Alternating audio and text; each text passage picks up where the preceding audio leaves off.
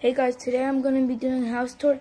So let's get started. Starting with the living room Leave me alone. with puppy dog Willa. The cute puppy dog Willa. Alright. Now oh, we can't like show you everything because this is not our house.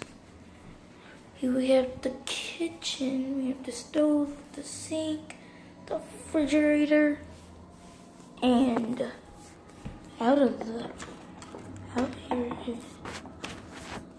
the outside. Alright, so we can't show you the backyard because we can't show you the backyard because Willow's gonna run away. That will.